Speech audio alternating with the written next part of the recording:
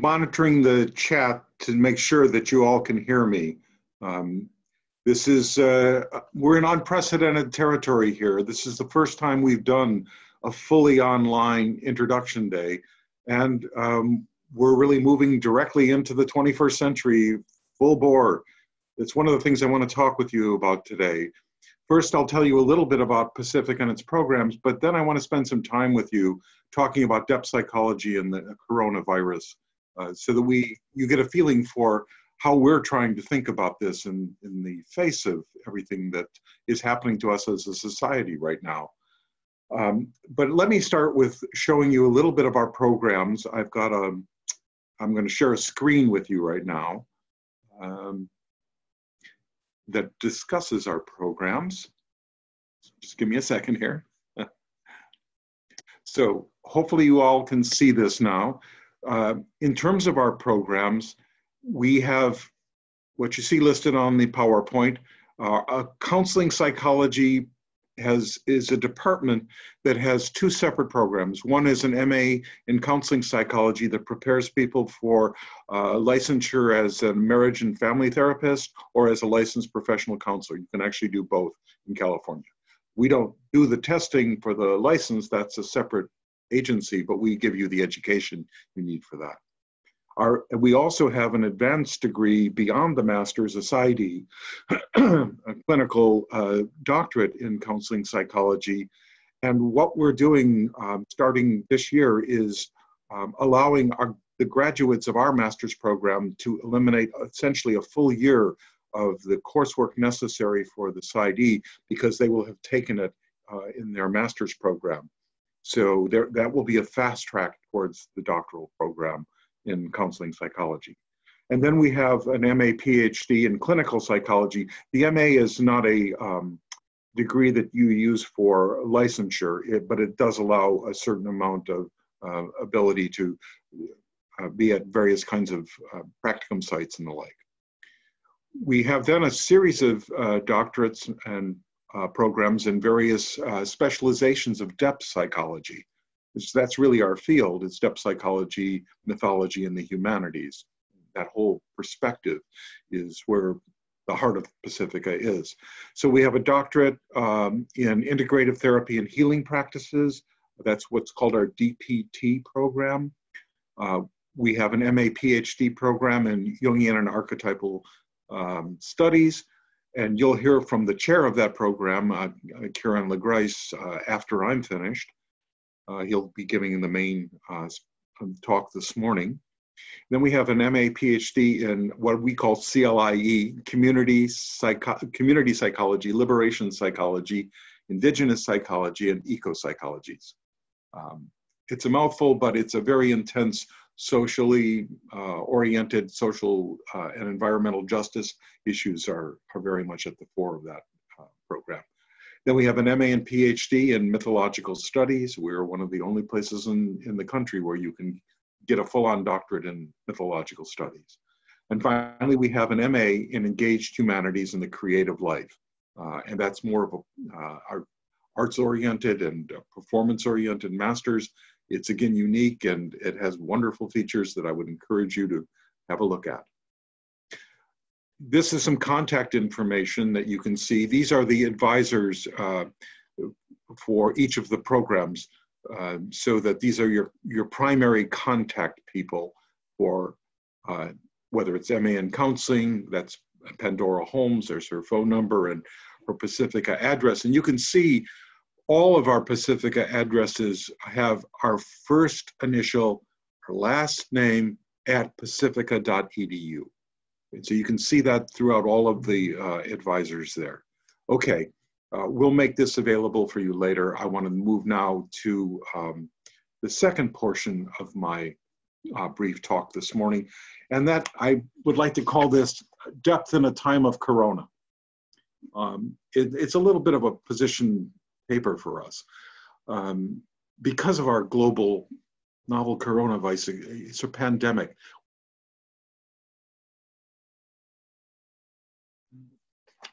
Okay, hopefully I'm back.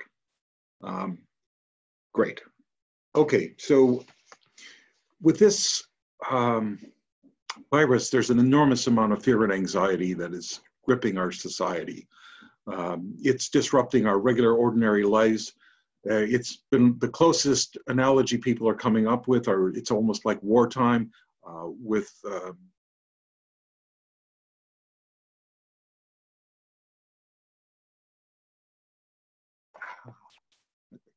we lost you again.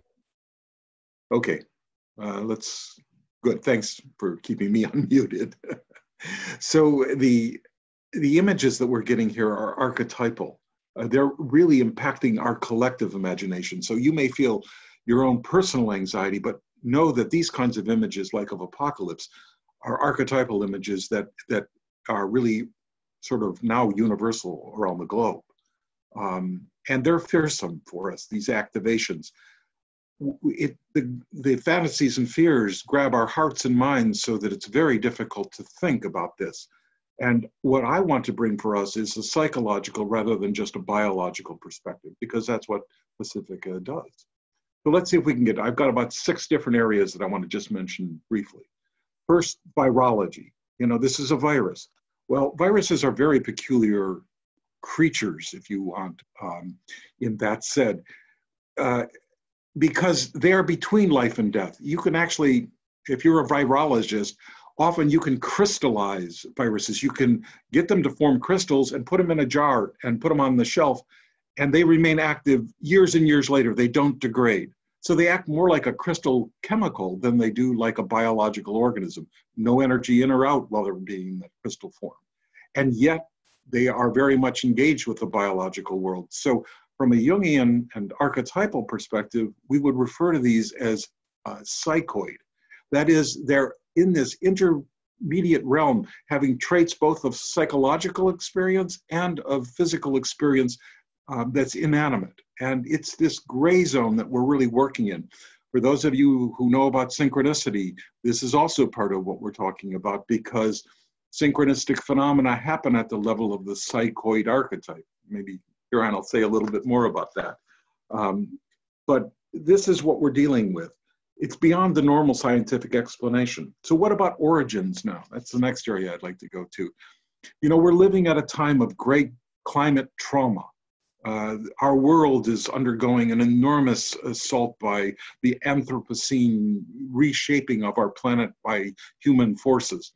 And the viruses and the other kinds of things that are, are emerging in the midst of this are evolutionarily adaptive. They're not caused directly, but they are in, environmentally and ecologically a part of what we're doing. We cannot differentiate and separate those off. And so I think these viruses then become, in a way, a certain kind of teacher. They, they make us reflect on, well, what are we doing and what are we going to learn from this um, instead of just panicking.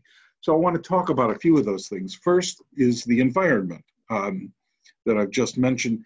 Uh, these these creatures, these viruses, began uh, in whether it's corona or Ebola.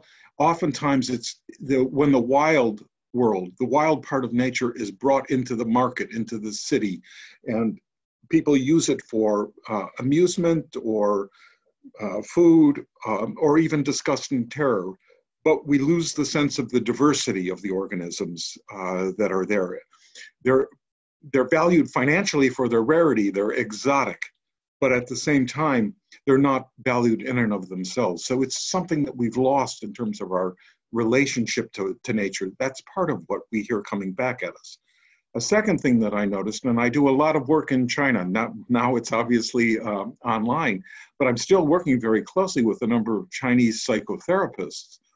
And we were talking about the viral um, problems that we're having around the world. And I told them about an article that was in the New York Times about two and a half weeks ago, where it showed that the uh, carbon emission has dropped off. Now, in, in China, normally in February, it's the Lunar New Year. So people go back home and the industry shut down for almost a month. And every year we see a dip in the uh, CO2 output because of this? Well, because of the quarantine there, the uh, CO2 levels didn't rise back up. And so after another month of quarantine, what we realized is the CO2 levels dropped as much as if the entire state of New York had stopped emitting CO2 for an entire year. That's how much they dropped in China. And that provoked several of the um, participants in the discussion to reflect in ways that bringing the unthought known forward. One said, My God, that's why I felt so strange. And I asked, What did you mean? Um, and she said, Well, the sky was so blue. And I felt sad. And I said, Sad. And she said, Well, yeah, it's been years since I've seen that blue a sky.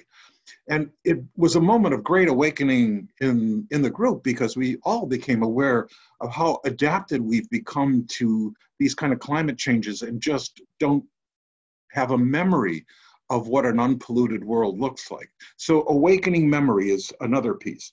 Next one I want to talk about briefly is isolation, because we're all sheltering in place, um, not for a nuclear attack, but we're all going into isolation. And the question is, what do we do about that? Uh, because it can become very corrosive for people, and people are very frightened about that. But let me give you a, a, couple of suggestions about creativity. I think it's a good time for education, for study and exploration. Sir Isaac Newton, the uh, probably one of the most famous physicists, went into quarantine in the years 1666 and 1667 because of the plague in London. And during that time, he wrote the Principia Mathematica, his great work on calculus and mathematics, including his theory of gravity. Really an extraordinary achievement, all done during quarantine. So, this introverted time where we go into ourselves can be a time for great thought and reflection, especially now when so many resources are available to us online. How do we in this? Now, the second challenge that I see is we've got a very interconnected world. I mean, just look at our event here today. And yet, the challenge for us is to become interrelated, not just interconnected. And what I think that means is that we have to really learn to be more empathic and more caring for one another, that the kind of things that we've learned about psychotherapy over the last 120 years need now to be in common practice. Think of people who are isolated, alone. Maybe we can't visit them in person, but we can connect with them, tell stories. Our lives, the way we interact with one another and our emotions are vital to our collectively as a community getting through this time. The danger, of course, is the next point is depression.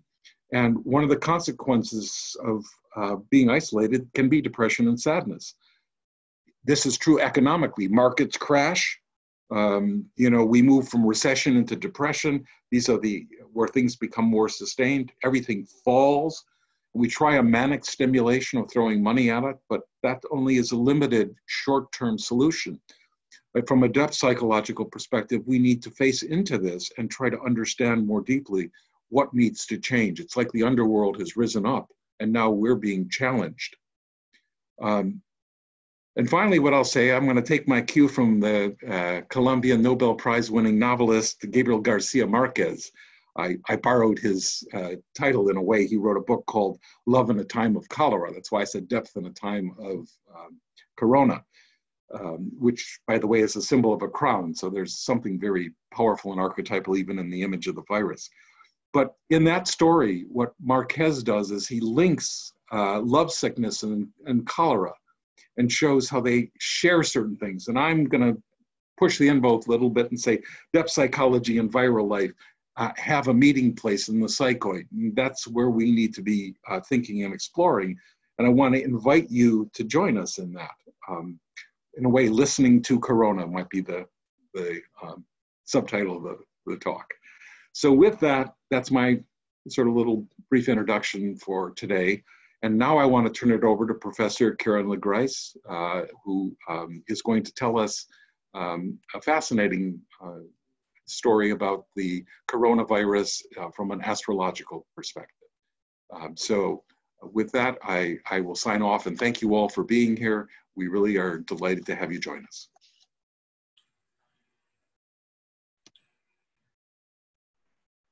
Great. Um, thank you, Joe. It's very um, uh, inspirational in many ways and, and, some wise, wise words there. Um, my talk is very much in keeping with, with Joe's topic. Uh, in fact, we, we named our talks very similarly. My, mine is uh, individuation in a time of coronavirus.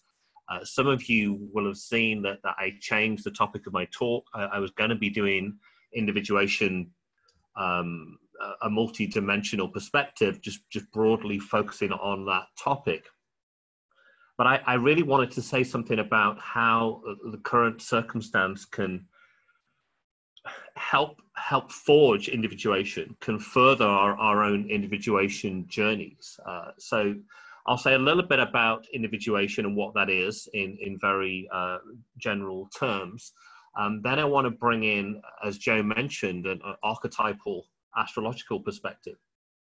This can, this can give us a sense, I think, of the, of the bigger picture, the timing, and the archetypal quality and content of what we're now going through in, in this, this very, very challenging moment we find ourselves in. So before I jump into this, just, just a reminder, you're doing a great job at staying muted. That's fantastic. If you haven't yet um, figured this out, you can go to the top right of your screen and change your view from gallery view to speaker view. So you might be seeing loads of little black boxes.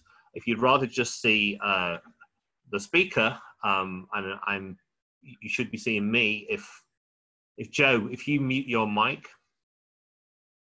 then I, I think um, hopefully everyone will just see me if you click on speaker view. So you've got gallery view is all the little boxes, speaker view is just one image of the main speaker. Okay. So um, two aims really of, of this talk. I want to kind of give a sense of perspective uh, as I said, as to what we're passing through using archetypal astrology, which I'll explain in a moment. And I also want to give a sense of some of the things that we get up to here at Pacifica, some of the um, rather obscure and uh, sometimes ostracized topics that depth psychology allows us to engage with. And astrology is, of course, one of them. And I think whichever program or programs draw your interest, you will find uh, ideas that are, are somewhat resonant with what I'm going to speak about today, whether it's the study of myths or uh, the arts and the humanities or counseling and clinical psychology. Each, in a different way, is, is engaged with understanding the, the deeper dynamics uh, of the human psyche and, and more broadly, human nature and the world situation. Okay, so let me let me jump in. And individuation is a, a topic, uh, an idea that I'm sure many of you have encountered in one form or another. It comes from from Carl Jung, um, who is uh, perhaps the most influential depth psychologist uh, in terms of what we offer here at Pacifica.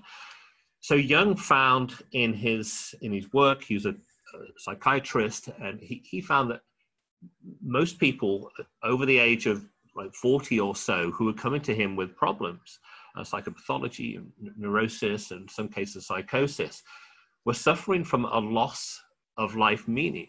Uh, they they'd lost their traditional religious views of life. Many felt that Christianity didn't didn't speak to them uh, as as perhaps it used to, and they so they're in a kind of existential crisis situation. And I think we can see Jung's theory of individuation as a kind of response to that. It, it's really, uh, uh, it posits the existence of something like uh, a spiritual, transcendent organizing power in the depths of each of us. And Jung called this the self, which is uh, perhaps a slightly confusing term because we tend to think of the self more in personal terms. If you say I, you think you know you're referring to yourself for Jung, that I, that personal I, is the ego. And he hypothesized, um, based on what he saw and, and coming out of his own experience too, he hypothesized that there's another center in the human psyche. Uh, this, this is the self. It's in the unconscious. So the, the ego exists in relation to this deeper, larger, encompassing center, the self. And it's, it's kind of it, it's you, you in your innermost depths. So it's your deeper self, but it's also, in some sense, God. It's a spiritual center. It's the, the universal person within us, the universal godlike person. So through individuation, Jung uh, found and kind of formulated a, a contemporary form of a spiritual path. And I, I think many of us today have the sense that we're living our own spiritual journey, that we're finding our own way, that we're not necessarily contained in the religious traditions. And this, in, in many respects, comes out of Jung's theory of individuation, that we're all on our own uh, unique life journeys, and we're trying to realize the, the deeper person that we that we are, that we may not uh, fully uh, understand or um, that we may not be conscious of, at least initially. So th- this is individuation. It, it's the challenge of coming to terms with the unconscious and coming to terms with the self. Now, the self is a, an agency. It's it's an authority. It, it's a center. It's a dynamism. It's part of us that is outside of our conscious will, often outside of our conscious awareness. And so the work of individuation is how do we come into alignment with this deeper inner self? How do we understand what its plans are for us? Because often they, they are not uh, always aligned with what we ourselves feel that we want to do with our lives. And, you know, I think we can see this right now in, in the crisis that, that we're all in, where circumstance uh, and the unconscious manifests often through external circumstance how that thwarts us it thwarts our conscious plans it forces us to change track it throws us back on ourselves. Joe mentioned that kind of the isolation and the introversion of being uh, in lockdown and, and, and stuck in our own homes and not able to socialize. This is a way that the unconscious can actually, through external circumstance, through what's, uh, what's happening in the world and in our, in our lives, how it can shape us and push us further along our individuation path. And it, it's not always pleasant, just to, to state the obvious. I, I think suffering, uh, unfortunately, is, is a key element of, of self knowledge and coming to understand who we really are in, in a deep way and, a, and a, the spiritual life, the religious life. Without suffering, I, I think we would just not have the same depth of insight. So, one analogy I, I often think of in terms of individuation is uh, the ego, the, the I principle, thinks of itself as like the captain. It's the captain of the ship and so it thinks that it is uh, able to, to choose the direction of the, of the ship and navigate the course as it sees fit. And the self then would be like an, an admiral of the fleet, that some uh, overarching authority that might have another plan in mind, another course that we need to sail. And so the ego, the captain's job then is to get in contact with the admiral of the fleet and figure out what is actually the the life direction that's intended from this deeper, uh, uh, uh, more authoritative place, the self. So Jung said that the self is an a priori existent out of which the ego evolves, an a priori existent. It's it's pre-given. It's already there. It, it's, and I think today we often have the sense that we can be the person we want to be. We can shape our lives through uh, acts of free will. We grapple with circumstance and we can be whatever we want to be and you know, there's some there's some truth in that but uh, as, as with so many jungian ideas they, they're kind of against the the current of the times and so jung's notion of the self implies that we we have this innate pre-given pattern to our lives like uh, an order a formal order uh, is the way this could be described an, an inborn form and then our job if that be the case, is to try to understand what this form is. This goes back to, to Aristotle, a Greek philosopher, the idea that there's this formal organizing pattern in life and it shapes the flow of events, even free will, free choice, free decisions are contained within this subsuming larger pattern. Uh, so the, these ideas are all very relevant to individuation and how we uh, begin to come to terms with the unconscious. So what, one other idea here, um, again, one that I'm sure many of you have encountered is Jung's theory of archetypes, that if, if, you if you want to come to terms with the unconscious, if you want to come to into relationship with the self, you have to, as Jung said, differentiate the archetypes, recognize these powers, these principles, universal principles that are shaping our experience, and not only individually uh, but collectively. One example would be, uh, I think one we can all relate to, the hero. The hero is an archetype, and it's something that we can all experience. We can all experience a tinge of the heroic. We can feel one day that we're going to get up and we can take on the world. We can go out there and get our PhD and nothing's going to stop us, and, or we can face the, the gravest challenges and we're going to conquer them. The heroic kind of comes over us. We, we tend to think it's like coming from us, from our own will, but Jung would say it's archetypal. You can experience the heroic, I can, and it kind of it, it colors our perception of the world. It you know we, we then see the world as this something we need to to take on and, and conquer or it's, it spurs us to sacrifice and uh, the willingness to, to withstand suffering. It, it nerves us to, to great deeds. And it, it often can have this numinous spiritual power that we, it, it moves us with powerful emotion. The, the, hairs on the back of our neck stand on end. We, we, we tingle. This is an archetypal experience. So Jung identified not only the hero, but many other such archetypes. The shadow, I'm sure you've heard of, anima and animus, uh, the wise old man, the great mother, the child, the trickster. And so, a key challenge of individuation is to try to understand how we're moved by these different archetypal principles. How, how is the hero coming through?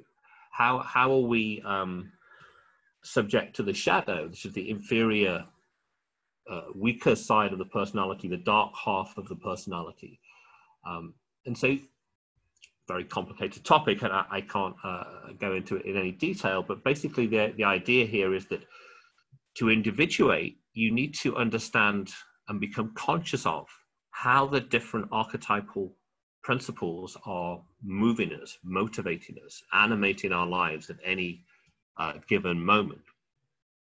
And if you can do that, then you'll be better able to distinguish the self, the self as the true uh, universal center of the human being. If you can differentiate the different archetypes, you're not going to be as unconsciously dominated by them. You're not going to be compulsively moved by them in a, in a way that is uh, deleterious and, and damaging to you. But you can participate more more skillfully, more creatively with these powers and learn to distinguish them one from each other and, and then to attune to the self. So this, uh, uh in uh, all too rapid survey, is the work of individuation. So we need some way to come to terms with the archetypes, to recognize the archetypes.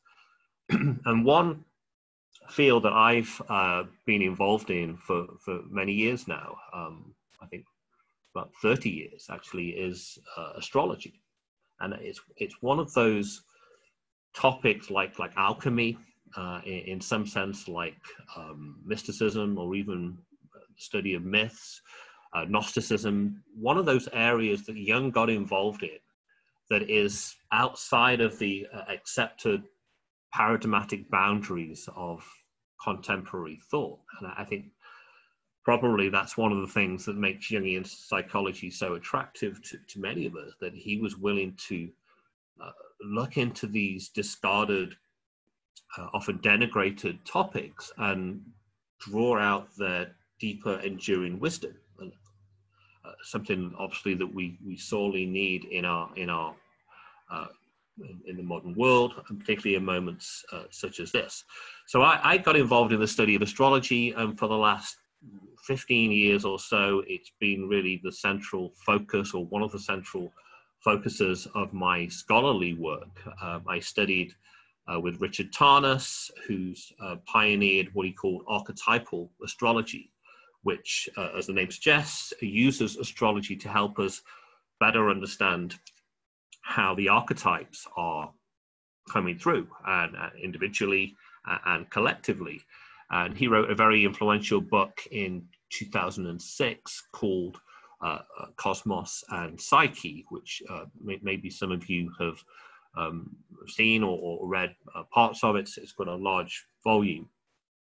And in that book, uh, he details what he calls world transits. And uh, these basically are looking at different historical periods and seeing uh, which planets were aligned with each other at those moments.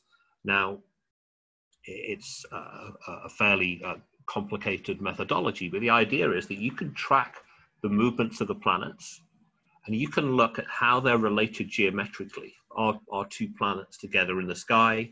Are they opposite from each other in the sky? You can look and see how they're related, and that will give you some insight into how the archetypes in the psyche are related.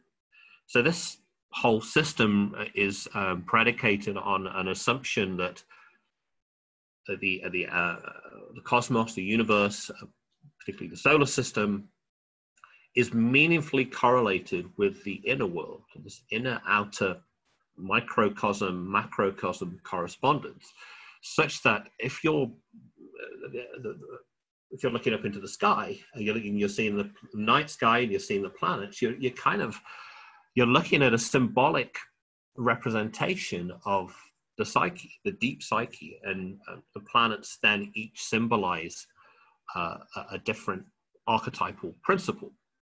So again, it's uh, it's complicated, and if you start thinking about astrology, it raises a, a whole host of, uh, of, of complex questions. But just imagine that there's this symbolic relationship between inner and outer, between psyche and cosmos, and they're all part of a, a, a containing unity. Jung used the term unus mundus, a one world, a unified world. Um, and inner and outer are more deeply uh, profoundly connected than we are led to believe uh, in terms of our dualistic Cartesian uh, thinking.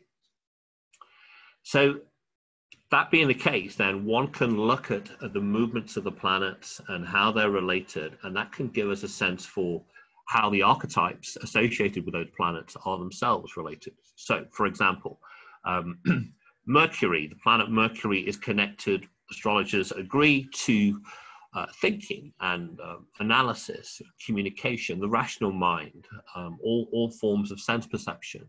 Uh, Venus is related to beauty and aesthetics, uh, love, enjoyment, pleasure, um, friendships, those kinds of things. Mars is related to aggression and assertion and fight, warrior principles.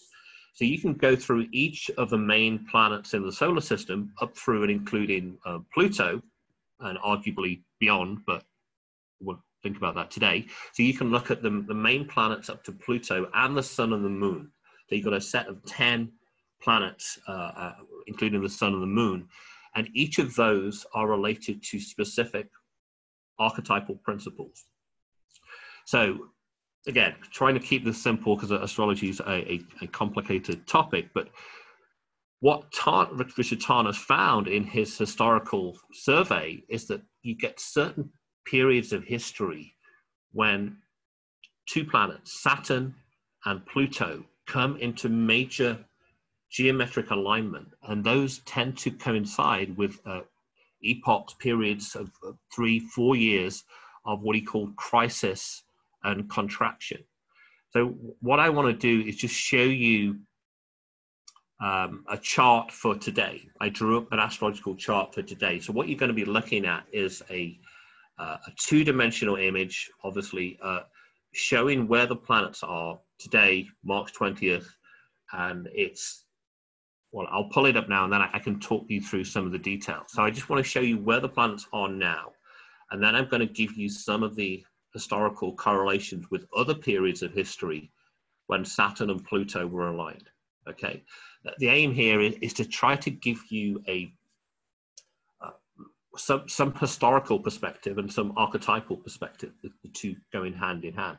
So we can see what's happened during other Saturn Pluto periods, and that may help us gain some uh, insight into and perspective on what what we're going through now. So I'll just share my screen, and in a moment you'll be looking at a chart. You won't see me any longer. Again, if you haven't done this yet, go to Speaker View and then you'll get a bigger image. If you've got gallery view, you'll only see a small square. Uh, so one second.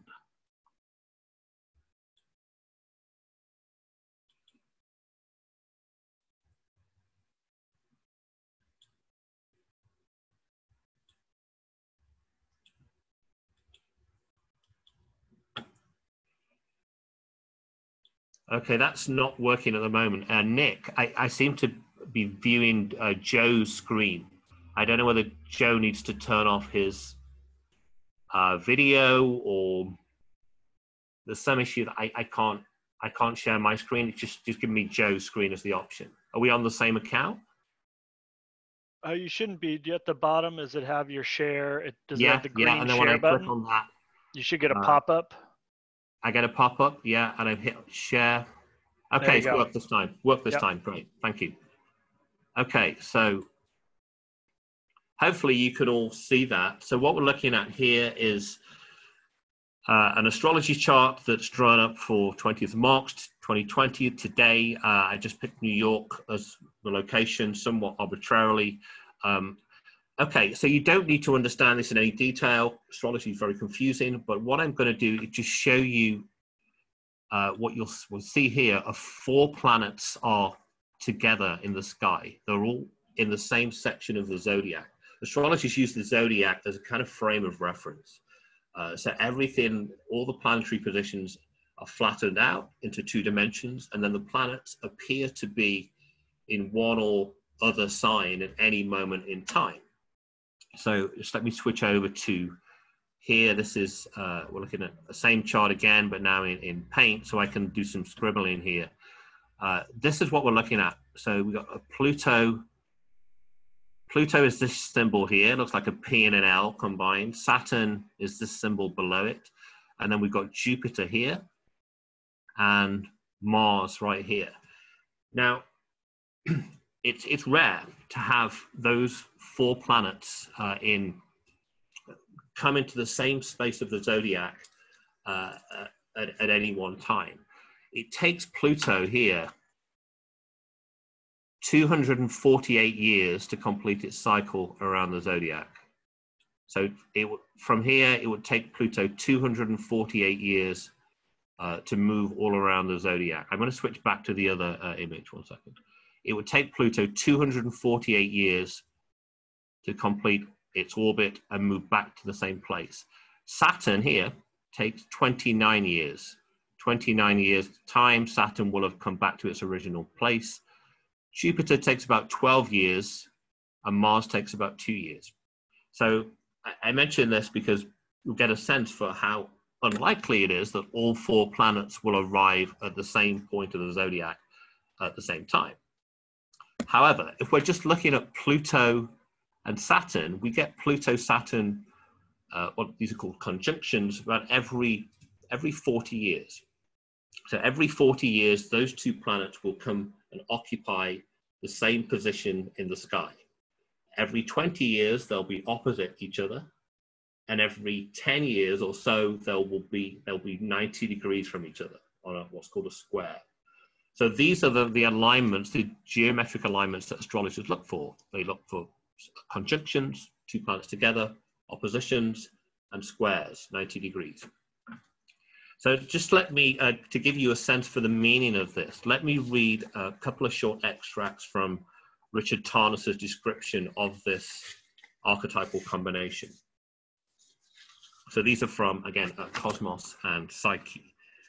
So uh, uh, this is quoting, uh, this is reading directly from Cosmos and Psyche. So this is Tarnas. The, the successive quadrature alignments, that's the conjunction, opposition, square, the quadrature alignments of the Saturn-Pluto Pluto cycle coincided with especially challenging historical periods marked by a pervasive quality of intense contraction, eras of international crisis and conflict, empowerment of reactionary forces and totalitarian impulses, organized violence and oppression, sometimes marked by lasting traumatic effects.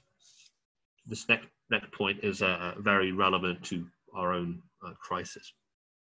An atmosphere of gravity and tension tended to accompany these three to four year periods, as well as a widespread sense of epochal closure, the end of an era, the end of innocence, the destruction of an earlier mode of life, which in retrospect may seem to have been marked by widespread indulgence, decadence, naivety, denial, and inflation. So I think Tarnas was looking at, at um, well, Saturn Pluto conjunctions have coincided with such major historical events as the start of the First World War. Um, 1913, 1916 was an alignment. So the 1914 outbreak of the First World War, Saturn Pluto conjunction. Uh, the start of the Second World War, there was a Saturn Pluto square. Uh, the height of the Vietnam War, um, there was another Saturn Pluto major alignment. The start of the Cold War, 1946, another Saturn Pluto conjunction. And then most recently, um, well, one of the most recent ones was 9 11. So Tarnas wrote a lot of the Saturn Pluto stuff actually in response to uh, the attack on the World Trade Center in New York and 9 11. Um, so we're in a similar archetypal moment. Obviously, the circumstances are different, the causes are different, but the same archetypes are constellated. Pluto is power, it's power drive, will, um, intensity, extremity. It's connected to the underworld, uh, the underworld of the instincts, instinctual compulsion. It's connected to um, the destructive force of nature, transformation and rebirth.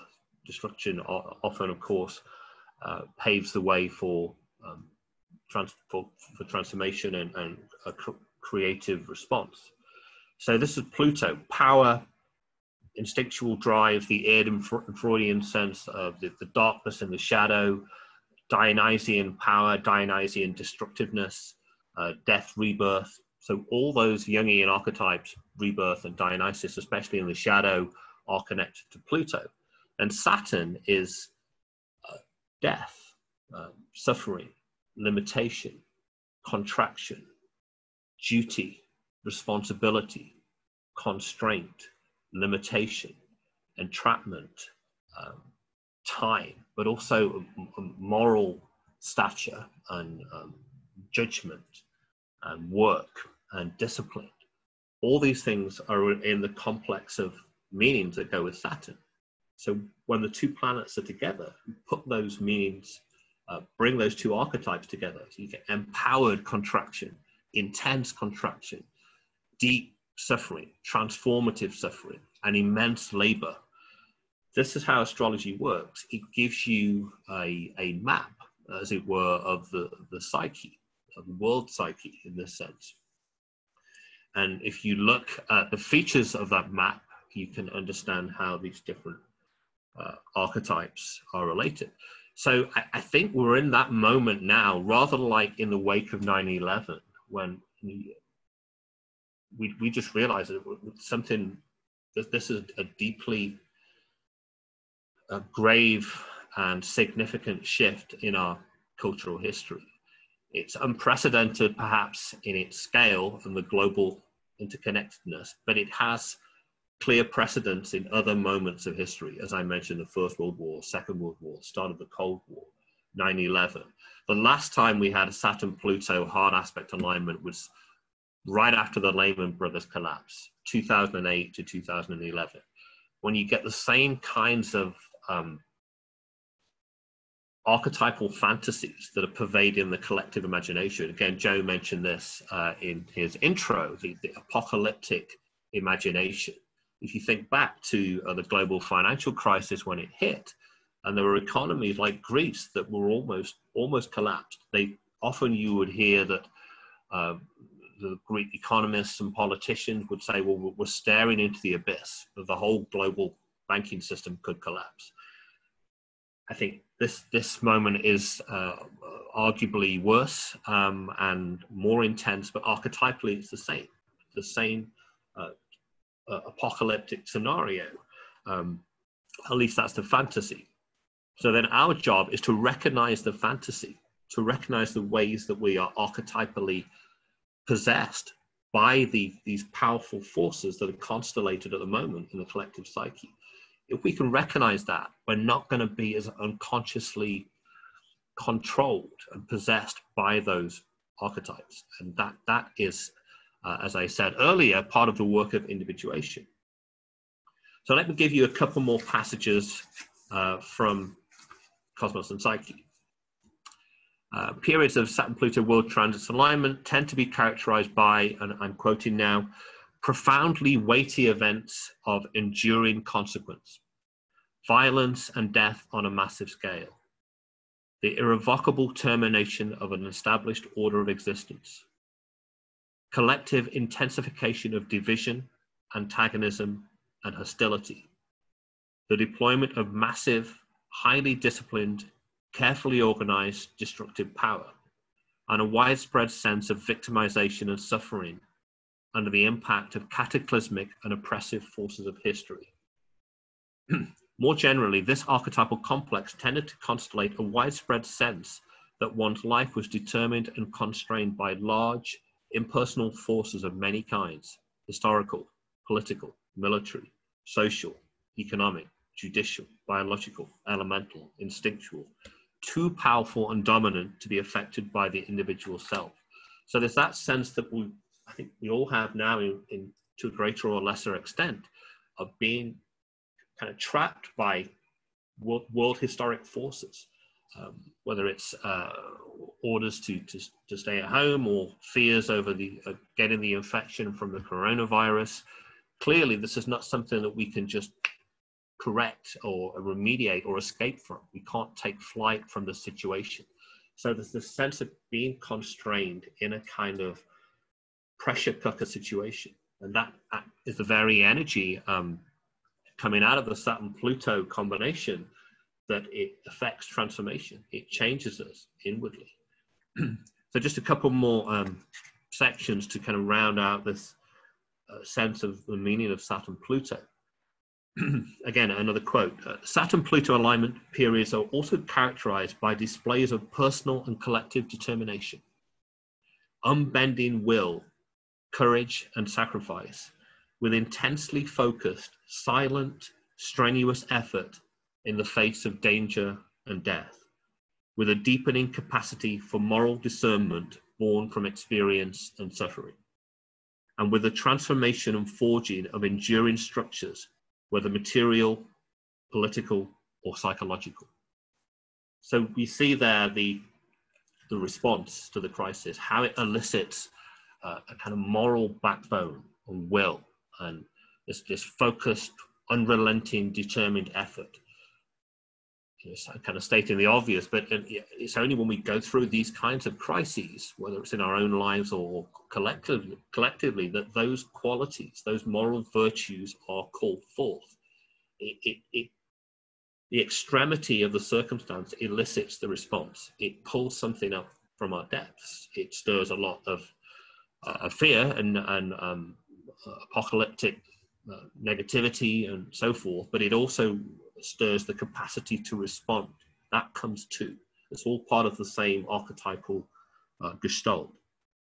So uh, to continue, whether for good or ill, such periods, Saturn Pluto periods, seem to coincide consistently with a collective sense of stern purposefulness and determination, a galvanizing of the will against overwhelming odds, grim resolution in the face of extreme danger, acts of personal or societal self denial, intense hard labor, sustained commitment to an arduous task, and a radical deepening of gravitas in the collective psyche were typical.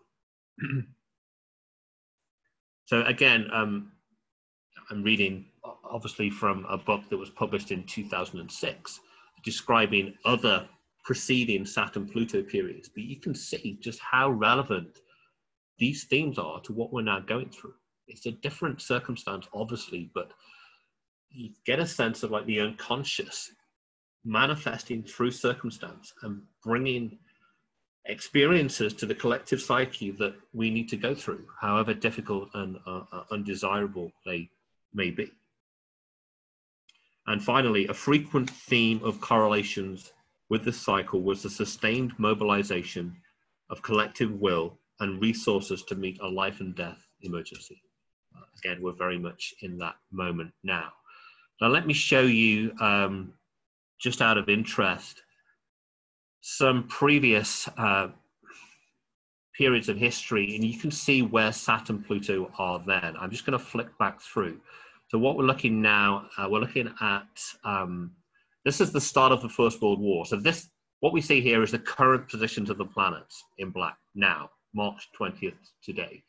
And the positions in green are where the planets were in July, the end of July 1914. And you see there, Saturn and Pluto were again, uh, again together in the sky. So since 1914, Pluto has moved very slowly uh, in its orbit and has now reached this position. And Saturn has completed half and another three full orbits and has come back to this position where it is now. So that's 1914, uh, the outbreak of the First World War. And then uh, what we're looking at here is 1981, October 81. There was a Saturn Pluto conjunction between 1980 and 1984. I just picked 81 uh, to show you another historical moment where we get a pretty unusual combination of Saturn, Jupiter, Pluto, and in this case, the Sun and Mercury, although they move more quickly. So what we have uh, to go back to today, uh, March 20th, 2020, Saturn, Pluto I've just described. Jupiter is the planet of expansion, um. Uh, it's uh, the, uh, the, biggest planet, and it's to do to do with amplification and growth. So I think the widespread scale of this crisis uh, is coming out of that um, Jupiterian archetypal influence. So you get the Saturn Pluto with Jupiter added archetypally. Um, and I think also the, the, closure of many cultural activities and commerce. Jupiter has a lot to do with the, with the cultural life, also travel, the travel restrictions with countries closing their borders. That Saturn endings, block, blockages, limitations, constraints in the area of Jupiter, travel overseas, culture, um, commerce, as I said. And then also here, Mars. This is the Mars symbol. Hope you can see that. So Mars is to do with, uh, among other things, movement. And I think the constraints on, uh, on movement uh, reflect the presence of Mars in that four planet combination. Mars is to do with energy and action and assertion and taking the initiative. The urgency of the actions uh, within this grave crisis, that reflects Mars. The widespread scale, that reflects Jupiter. So you can see, I, I hope, how those four planetary archetypes have come together in this kind of powerful uh, coincidence uh, of, of their forces. Uh, in this in this current moment. And I said it's not unprecedented, but it's pretty unusual to have uh, such such an alignment. Now, if I go to uh, this is now November, so I've got I'm now looking ahead in time. Again, you'll see here. Uh, this is where the planets currently are. This is where the planets are in November. The green symbols on the outside of the chart. Um, so, you know, one obvious question when you're looking at astrology is is time scale, and I think especially in in our moment, how long is this thing going to last?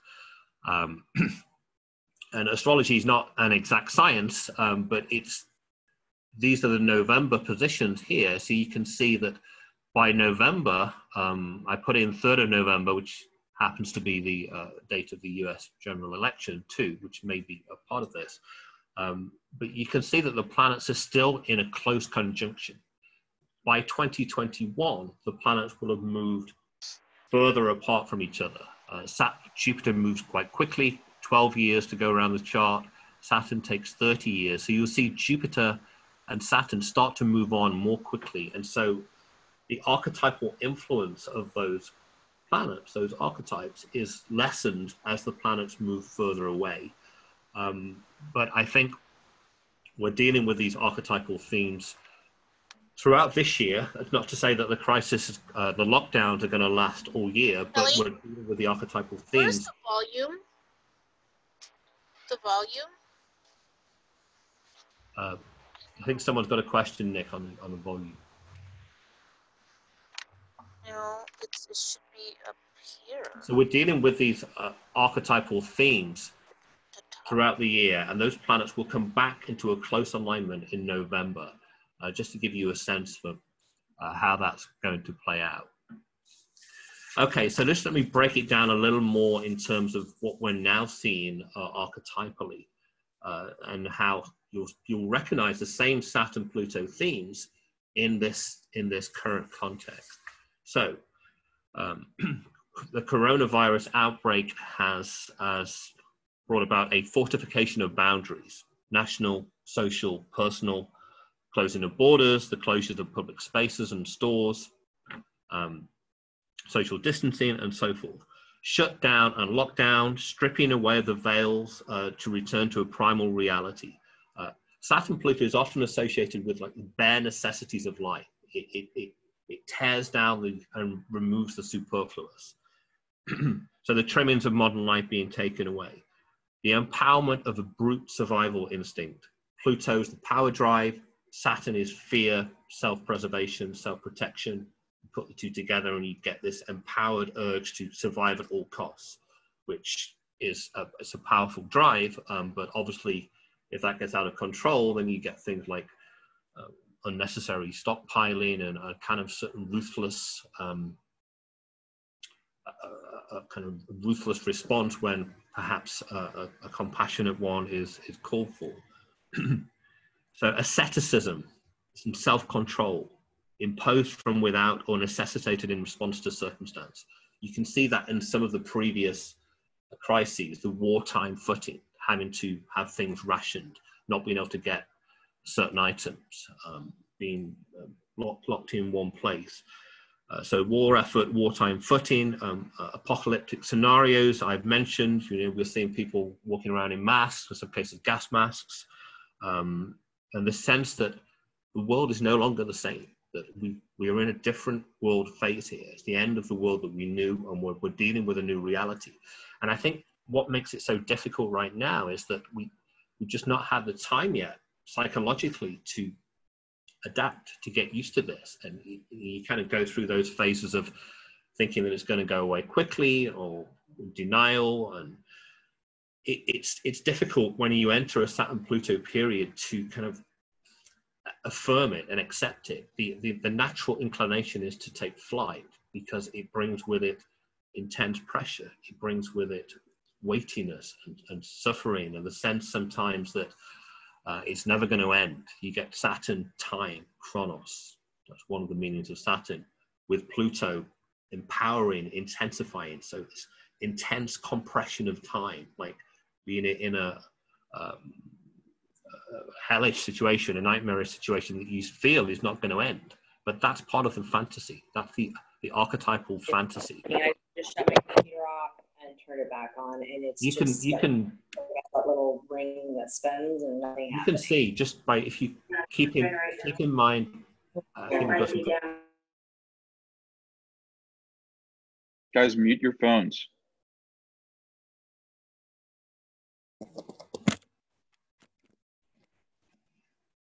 Okay, hopefully I'm back and audible. Please let me know if I'm not. If you keep in mind the previous Saturn Pluto historical periods, each of them will have brought the sense of, oh my God, this is never going to end. You know, when we when we saw the World Trade Towers, the World Trade Center Twin Towers collapsed, everyone knew this was an epochal moment, and we felt that it was going to be, I don't know, World War Three or something that was going to go on and on. And clearly, the the consequences of that are still with us, but we're not. We don't remain in that same intense pressure cooker situation. These things will pass. Or Second World War, First World War, as horrific as they were, they will pass. Um, so astrology can give you that sense of what is the archetypal quality of the moment and what is the timing of this. And this year, these archetypal energies are powerfully constellated. Less so next year, they start to move out, and then the, the, the Saturn Pluto is done by 2021, by the end of 2021. Um, so keep in mind that that historical sense of uh, the, these cycles and the way that they come in and they move on. Uh, they come in and they move on. so another thing we a consequence of this uh, is the blocking, repression, and containment of libido. If you can't go about your ordinary life as you would like to, you can't go and see your friends and go to the theater and uh, go, go shopping in, in, in town or whatnot, the energy that you would have spent, or even go to work, the energy that you would have spent on these activities has nowhere uh, to go or doesn't have the same outlet, the same avenues of expression. So the, you then you're then sitting with the energy that you normally would have expended in the act in the acts of life, and that that energy then can go back and activate the unconscious, uh, and then that feeds into well, how do you handle these energies? You've got these powerful um, drives to survive and fears coming up. You have to learn to handle them. So that's Saturn Pluto in its association with discipline, asceticism. Can you remain calm and master and control these energies? That's all part of the Saturn Pluto uh, challenge. And even uh, this rather peculiar um, way of life we've had to move into with constantly, you know, washing hands and um, sanitizing and wiping surfaces down and all that, even that comes out of Saturn Pluto. Some of you may have seen a TV show called Monk. Uh, it's about a, a, a, detective with uh, obsessive compulsive disorder. This came out in 2002 during a Saturn Pluto opposition, the 9 11 um, configuration.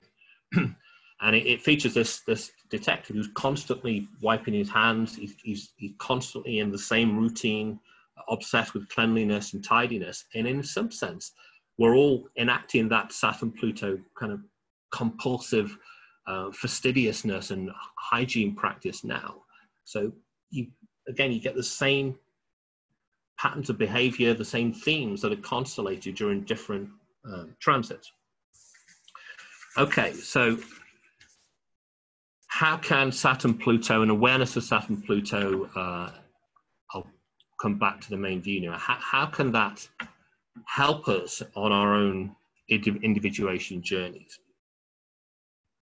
Well, uh, Saturn Pluto, it's um, very much connected with what Jung called as the, the Herculean labor of facing the unconscious. You have to face up to your own shadow, the, the, the stirred instincts, the fears that grab us all. So there's that uh, effort and energy to be steadfast in facing the unconscious. it, it brings an end to that more natural unconscious mode of existence that we've all, um, I think, been in, at least relative to where we are now. So it's this ending of an era and the kind of shifting to having to be more intensely conscious. Individuation is very much to do with becoming more conscious, making the unconscious conscious. And these kind of crises stir up the deeper uh, compulsions and fears within us in order that they can be integrated into consciousness. I think that's a key um, aspect of what's happening here psychologically. So, in doing that, we become more whole. We become more whole because we're facing the darker side of the psyche. We're having to face that and we're having to integrate it. So, as difficult as it is, there is an opportunity here psycholo- psychologically to understand something, um, something of human nature, something of our own nature, and integrate some of those usually latent fears and drives that exist within all of us that are now coming to the surface. Can we, can we contain them? How do we do this? How do we uh, face with moral courage the shadow aspects of human nature that are now coming to, coming to the surface? Um, and then this moral strengthening of, of consciousness. You remember the uh, quote I read from Richard Tarnas Pluto Saturn fortifies us, it gives us backbone and moral gravitas. And so it kind of forging those kinds of virtues that, that, that we need. And so, as difficult as it is at the time, you can probably look back, if you look back at Saturn Pluto periods in your life um, and hopefully able to look back on this period and see how it kind of forged you in certain ways that you probably can't see right now in the midst of the crisis. Now, just a couple of things uh, to, to close here. Um, depth psychology can help us. Joe, Joe began with this. It can help us because it, it enables us to become aware that we are caught in a particular archetypal fantasy. James Hillman said that archetypes bedazzle consciousness. they bedazzle us and they make they make consciousness blind to its own stance we don't realize that we're possessed we don't realize that we're caught in a particular uh, archetypal complex that shapes the way we see the world it shapes our somatic reaction uh, how we feel emotionally um, our, entire perception our entire worldview it tends to be colored by a particular archetypal fantasy so depth psychology fosters this pluralistic uh, understanding of different archetypal worlds and how we participate in these worlds. We move from one to the other. Saturn Pluto tends to make us kind of locked down and, and singularly caught up in, a, in this fantasy. So it can be very helpful to try to move to a different archetypal reality. Go to YouTube, watch some old film clips, play some music videos, do something to move your consciousness out of the, the Saturn Pluto into a different place psychologically. Then you can see Saturn Pluto from more with a clearer um, perspective. Studying myths, studying works of art, things that we do here in the programs at Pacifica, addressing psychopathology in, in clinical settings, in counseling. Um, or if you come to the Jungian program, understanding archetypes and the way that they come through. Um, that's a key element of uh, the Jungian program here.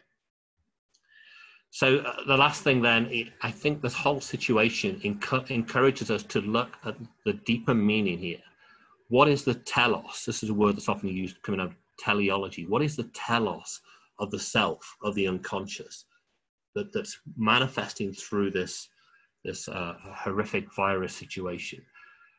It's, it's thwarting us, it's blocking us, it's throwing us back on ourselves.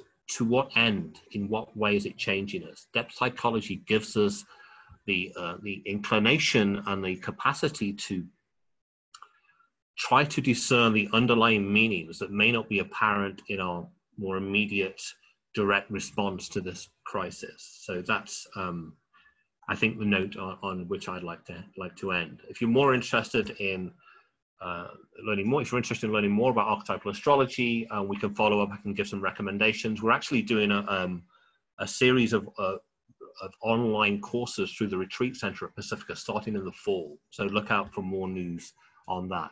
But I'd like to at least give you a chance to ask a couple of questions.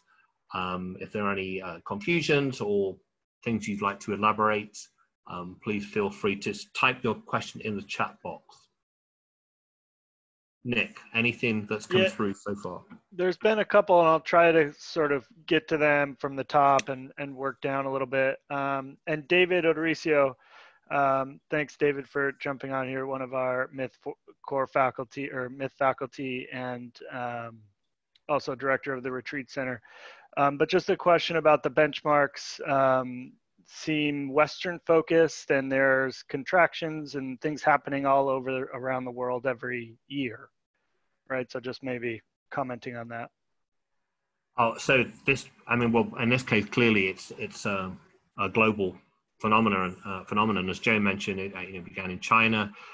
Um, astrology, the astrology that I'm doing, it comes out of the Western tradition, but um, uh, the, the recognition in Jungian psychology is that the archetypal principles are um, universal. They're inflected in different ways depending on which culture you're in. But you know, we can all, I think, recognize um, themes of death and uh, transformation, um, the urge for freedom as universal aspects of human nature, whether you know, whichever part of the world you're in. um, and Tarnas looked at uh, I mean, he's focused mostly on Western history in that book, but he did look at examples outside of the West. Uh, so it's not um, Eurocentric or, or anything like that. Um, but the the planets are named after the Greco-Roman gods, and that gives it its uh, Western stamp. But I think what we're dealing with here is um, universal archetypes in the way that they constellate and manifest in different different ways in different contexts around the world. It's just in this case, clearly we're looking at a kind of uh, global manifestation of, of the, the same um, set of circumstances. Good, good question. Um, there was also just to sort of draw attention, there was some good, not necessarily a question, but just some dialogue that took place between some of the participants around, you know, oh, this seems, um, you know, that we're at the mercy of the planets with how this laid out, and there were some responses to that from some of the participants. Right. I don't know if you want. There's other questions coming in, but I don't know if, if you wanted to. Okay, yeah, I'll say that something. statement, But that's a, that's a great point. I mean, I think uh, it, it seems to me that one um, misconception, an understandable one, with with astrology is that um, the, the, the, the, the planets are like these um, evil demiurge or uh, Gnostic archons that are uh, arbitrarily inflicting misery on us from above. But this is coming out of our own experience. So even though we're looking at archetypes as something that are outside of the human will, you know, we, we can't will these things away, we can't control them consciously. They are a part of our own nature, and the things that we see in the world are not. Um, they participate in the archetypes, in the archetypal themes, but it's not the case of like a top-down uh, hierarchy of gods or something that is is uh, inflicting things on us. Uh, it's Saturn Pluto is your own your own um, urge to survive, your own uh, sense of being in a pressure cooker. That is the way that Saturn Pluto comes through. Uh, it's just that the astrology is like a, a perspective that allows us to illuminate the themes. We can obviously understand the causes. If you look at the coronavirus, you could look at a chain of causes about how this developed. Again, Joe mentioned this the way you began. So astrology is not something that you then uh, it's not something an extra set of causes. It's manifesting through the causes. It illuminates the causes.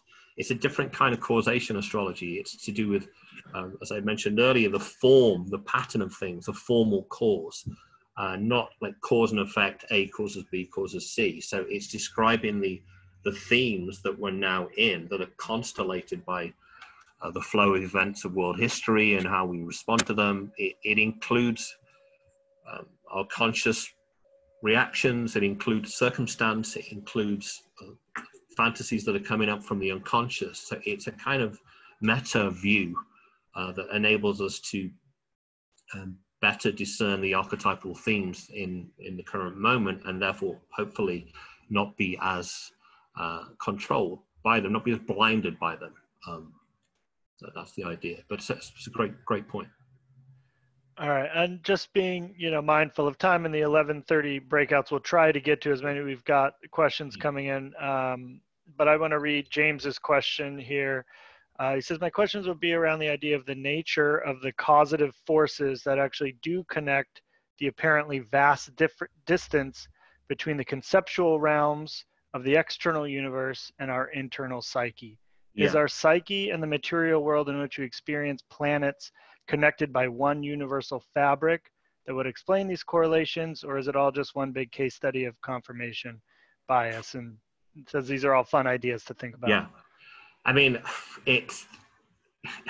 I, I, I can't I can't give a simple answer um, within a minute, but I will I will try. I think with astrology there is some projection. There, if you look at, you know, go go and read some astrology books. A- lot of people are projecting their own uh, archetypal worlds and uh, insights onto uh, outer space, and so I don't dispute that. But I do think there is a, a deeper ground to this. I mentioned Jung's idea of the uh, unus mundus that the psyche, the inner world, and the universe, the outer world, we tend to construe them as uh, separate realms, but um, we can, I think, see them also as related aspects of a unitary ground. If those of you who've uh, studied Jung, you will have per- perhaps encountered his idea of the, the psychoid archetype Joe mentioned earlier.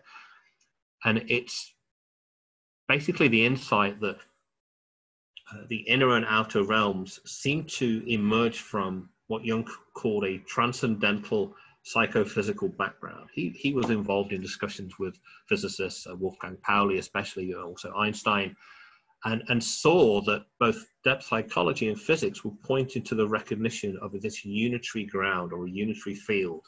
Uh, David Bohm, um, kind of active between the uh, 50s and I think the 90s, wrote an important book called Wholeness and the Implicate Order in 1980, I think. And he, he has this idea that uh, the universe is what he calls a holomovement. It's a, an unbroken flow of energy.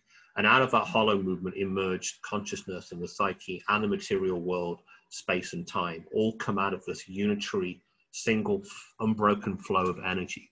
So I think with that kind of idea in mind, you can um, move away from understanding astrology as the causal influence. It's not, gosh, you know, Mars emitting a force that then influences me or you down here on Earth. There's no explanation, no valid, I think, explanation of astrology in terms of that kind of causation. But if you look at it in terms of synchronicity, there's an underlying coherence and correlation between inner and outer. Uh, then I think astrology starts to make more sense. Um, probably the best answer I can do within a minute. But if you if you want to learn more, I wrote a book in 2010 called The Archetypal Cosmos, and this gets into these kinds of questions in that book.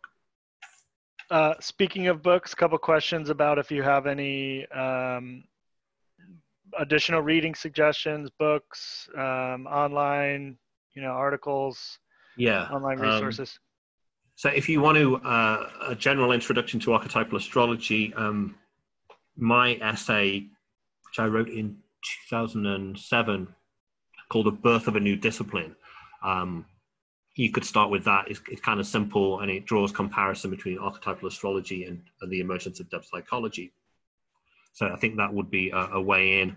Uh, Cosmos and Psyche, I mentioned by Richard Tarnas, my book, The Archetypal Cosmos. And then there's a journal called Archai, the Journal of Archetypal Cosmology. And so if you Google Archai, A R C H A I, A R C H A I, if you Google Archai, uh, then you will get to the journal's website, and on there there's uh, a glossary of terms, and you can read articles from previous issues for free online.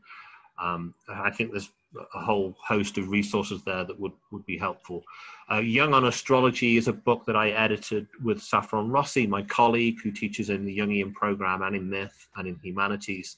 We edited a book um, that brings together all Carl Jung's writings on astrology that came out a couple of years ago, just called Jung on Astrology. Um, same time, Liz Greene, a well-known astrologer, she brought out two books uh, in this area too, Jung Studies of Astrology and the Astrology in the Red Book. Very interesting. Um, there's a whole lot, lot, load of stuff out there, but go for the a higher level archetypal depth psychology kind of astrology rather than the pop stuff, which is helpful. The popular stuff is helpful for getting into astrology, but if you want to understand how can astrology help illuminate the deeper dynamics of my experience? You need that depth psychology element. So, yeah, hopefully one of those, one or other of those books will be a useful resource. Yes, uh, thank you. And I, just looking at the time, um, I, I, don't think we're going to have a chance to get to all the questions. Um, I've saved the questions, the few questions we didn't have a chance to get to today that um, perhaps we can respond to them on the side. Um, but I want to cool. leave a few minutes here uh, to turn it over to Jessica from our admissions team um, just to relay some information and sort of set up um, the breakout groups, which are um, set to begin here at 11:30. So thank you, Great. everyone. With that, I'm gonna. Yep, Keiron. I just want to say thank you, everyone, for for being on the call and uh, making the time in your day and good luck navigating the crisis. I hope that the astrological perspective will help. It gives a sense for what is constellated right now, and hopefully that will enable you to to deal with it a little bit a little bit better. So thanks again for your time, and, and good luck with your applications to Pacifica. Thanks, Keiron. Jessica. Hi, everyone. First, I just wanted to thank everyone for participating virtually, being flexible with the current circumstances. We hope everyone is staying as safe and healthy as possible. Um, I just wanted to let everyone know that the admissions office is still operational. So you are still able to apply to Pacifica if you are interested. You can email all application documents to applicant at pacifica.edu. I'll type it in the chat box as well, but it's A-P-P-L-I-C-A-N-T at pacifica.edu. And also on the landing page that everyone received the link to, if you scroll down, um, you can see the contact information for all the advisors based on program. So you will contact your specific advisor based on the program that you're interested in, and they can answer all the questions you might have about specific application requirements and a little bit more about the programs. Um, as noted in the email, the next Pacifica Experience Day that will be in person, you are all welcome to join free of charge. um, what you paid for this uh, virtual experience day will go toward that experience day. At this moment, we don't have a next in-person date scheduled yet. Uh, you know, we're waiting on public health updates and all of that. So you will receive that information as soon as we can. And then right now there will be a small break until 11.30. And at 11.30, you can click the link to the breakout session of your choice. So go to the landing page, um, view the uh, program of your choice, whether it be uh, counseling psychology or Jungian and archetypal studies. Uh, you'll just click the link to join that Zoom meeting. Um, after this, you'll just exit this meeting. If you go to the bottom right, it'll say leave meeting. And then you can uh, go back to the landing page and click the um, program of your choice to join that. So again, we thank you so much um, for joining. And as uh, you can see on the screen, uh, that's what the landing page will look like. And again, we hope you'll consider applying to Pacifica and we really appreciate you joining. Thank you.